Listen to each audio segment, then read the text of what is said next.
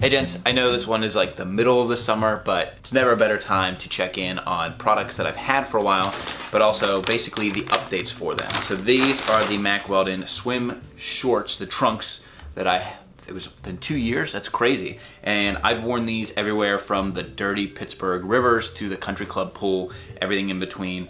And they've been fantastic. So I picked up another pair this summer because they tweaked the fit, and but the fabric is still the great, like quick dry fabric. And I am very pleased with them. I also went to go a little more bold with yellow. And so I thought it'd be a good time to do a quick check-in on the Mack Weldon trunks, why I think it's when you look at $88 for a pair of swim trunks, you can definitely be put off by those, but how well these have held up, how comfortable they still are, the performance of how they dry really quickly, and I'm just, I'm a big fan of them. So we'll get a try on of these.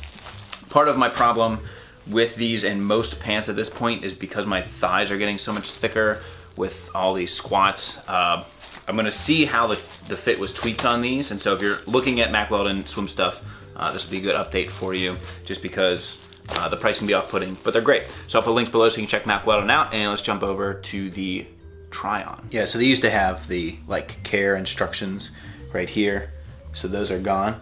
And something that always like epitomizes the finer details of like Mack Weldon products is the finishing on the, the holes for the swim trunks has this like reinforced finish so even after several years of pulling the drawstring in and out like it's really solid and right there. And same thing with the the zipper. I mean the zipper finishing is really nice on these old ones. And so for two years this has been unzipped zipped unzipped pockets in and out and these feel just as sturdy in the new ones. So but yeah definitely you can see in the thigh like compared to the other shot uh, just enough a little bit extra right here and it just feels very good. So I won't retire these. I'll probably just put them away for a while, but I'm looking forward to the yellow. Gotta draw, gotta draw a little attention to yourself, right? Yeah, as far as stretch goes, like you got all of it. You can do your belly flops, your dives, everything. I've also had their Vesper Polo for I think three years, and I love that polo. So I picked up the new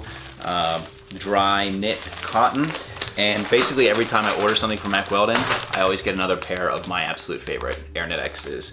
And I'm pretty much a briefs guy now. I'm gonna do a whole video on that, why I like briefs so much, but those are my pickups. Now we'll get to the try on. All right, so the minor like fit tweaks on these ones basically fix all my problems. It, they weren't a problem before my thighs were bigger, but they adjusted things slightly. So the waistband now has the drawstring through the entire thing. I'd mentioned in the old one, the drawstring basically came to this middle part of the front, and so it would tighten, but then it was elastic on the back, which did help it for fit, but the drawstring now goes through the entire thing. They left the pockets in the same place. The zippers are these really nice high quality ones, but both on the back and on the sides. They let out the thigh opening a little bit on the newer ones, which just helps me before they were a little bit tight. And they tweaked a lot of things, but maybe one of the biggest is taking the care tag from the back and just taking it off of the outside of the trunk. This is how it's designed on their underwear, which I don't mind. It's, that's fine.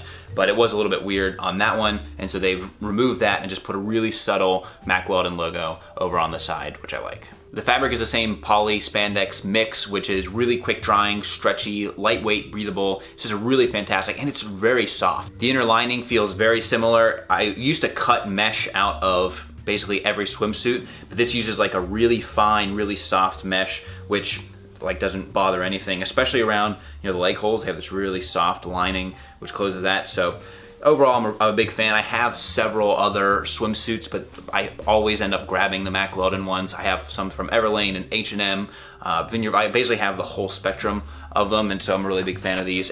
And also the bag that it delivers in is great. It's like a great wet bag. You can put your stuff in here, like your phone, keys, and things. And then when you're done swimming, if you change, you can put the wet bag in here, zip it up, and it keeps all the, the moisture and everything in here. So I'm, I'm always using like dust bags for extra things. It's just one of those nice little touches about Mack Weldon. And so if you're looking for the swim stuff, fantastic. I'll put links below and the other uh, polo is gonna come up in a polo video that I'm working on as well. And so if you have any questions about the swim stuff, have an answer. Mack Weldon, one of my favorite brands for basics, whether it's t-shirts, socks, underwear, basically everything, I always recommend them. And so if you have any questions, I'll be down in the comments, also over on Twitter and Instagram. Until next time, gents, this is The Kavalier.